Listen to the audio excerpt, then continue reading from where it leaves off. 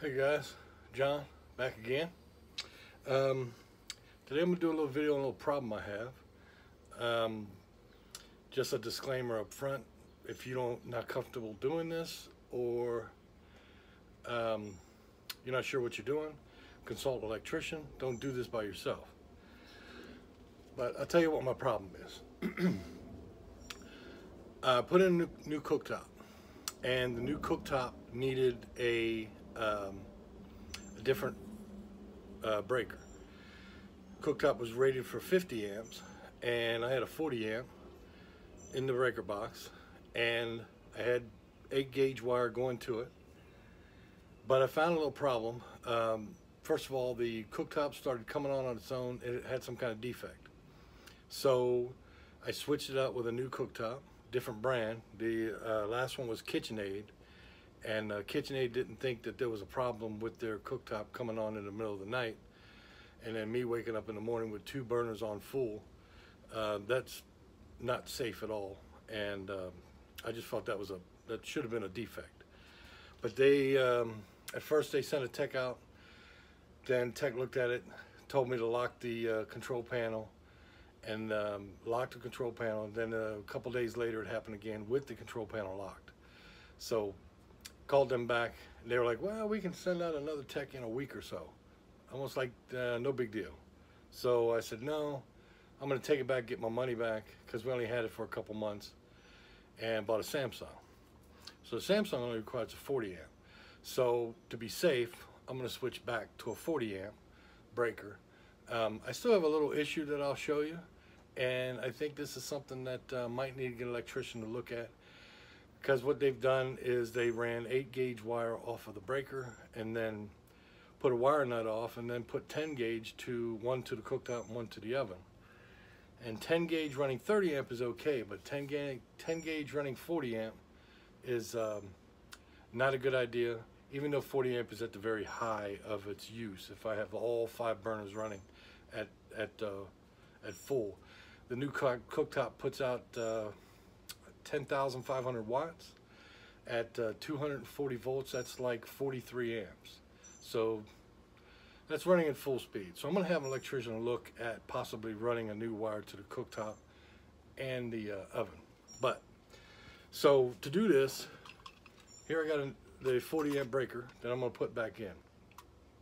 It's really simple. It's not that difficult to do. You just have to be careful because you got a lot of juice running in here. The bottom of this breaker panel, I got two. This panel runs mostly to our second floor and then this panel runs most of the first floor. Um, but it's running 200 amps, so that's pretty high and you just got to be careful. So the first step we're going to do is we're going to kill this breaker. Once we kill this, this kills the bars going up to all these. And this is the breaker that we're going to take out. This goes to, no, this one. It's a 50 amp going to the cooktop and the oven. So I'm going to go ahead and kill that. I don't have to worry about it. So the only tools you're going to need is a flathead. Now you can, so you can get a um, nut driver with a square tip on it like this this is a let's see what size. It doesn't really and it looks like S2 this is a square tip. And this tip works right inside these screws that hold the breaker panel on. But it also works inside these screws for the breaker itself. So what we're going to do is take off the bottom of these first.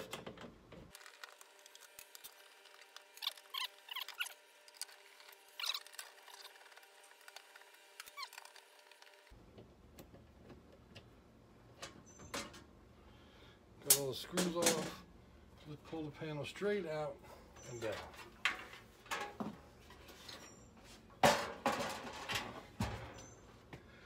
So those two main wires at the bottom is where you got to watch out for. That's what you got to be careful of. Those are the feeds coming in. And then there's your ground bar right here.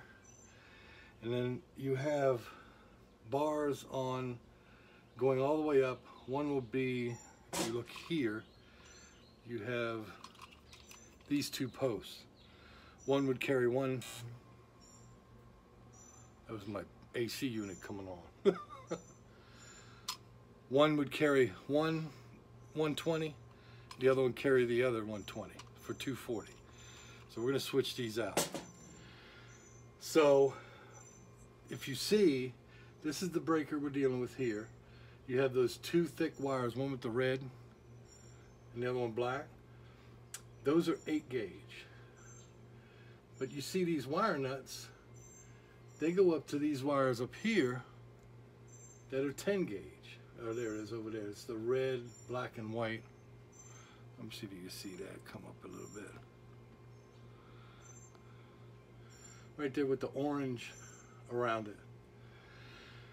10 gauge should not be used for anything above 30 amp, especially in hot climates where your ambient temperature gets up to like 170 degrees in your attic.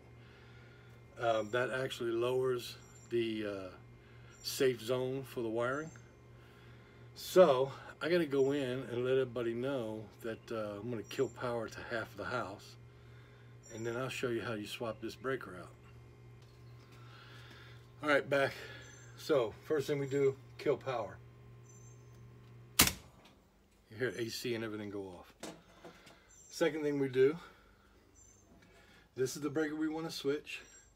Take a flathead screwdriver, stick it right between the two breakers, and pry this one back. And that'll pop it out. Because it just pries in with these two prongs. So we pry this breaker out, kind of pull it, rock it this way, pull it out.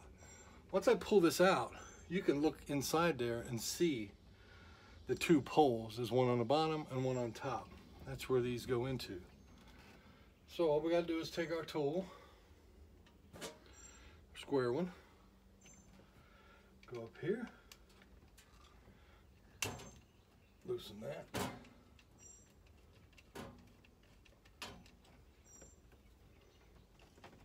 Now remember, once now I got this breaker separated from the panel, it pretty much, the wiring going to the oven cooktop has no power, even if the breaker was on.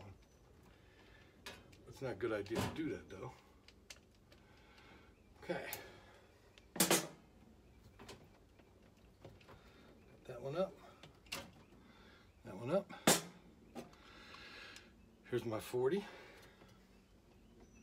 Put this in.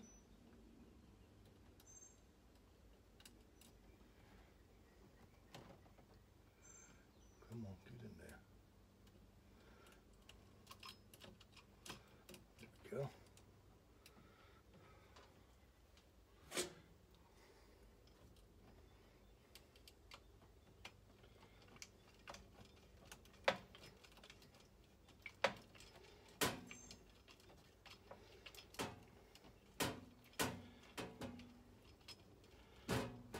I'll tighten it up a little bit.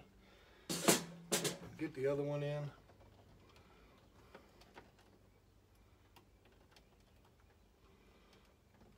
There we go. Tighten this one up.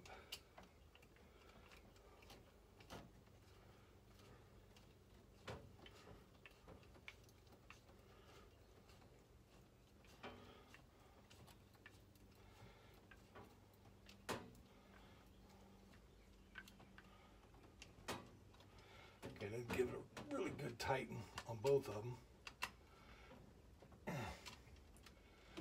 So there's the new breaker. So now, if you see those two plastic right here and right here, I don't know if you can see it. Maybe I'll move the camera a little closer or reposition the light. No.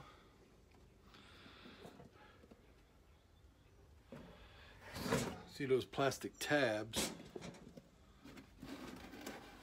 I've got a nail gun moving on me. Those plastic tabs hook onto the back of the breaker. So you slide the breaker in from the back, and rock it into those plastic tabs, make sure it's secure. You kind of pull on a little bit, make sure it's tight, and then go and push it in.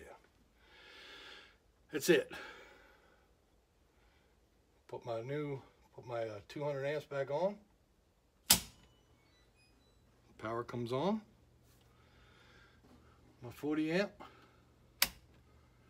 back on. I should now have power to my cooktop. Everything should be good. Put the cover back on. Get my face in here. Put your cover back on. Secure everything. Make sure you mark your breaker if you put in a new breaker. I did that over here. I added this garage breaker and then put a 220 outlet right below it. Just ran the wiring straight up because I had a space there. As you can see, my, my breaker panels are pretty full. I got room for maybe one 120 circuit if I wanted to run one more.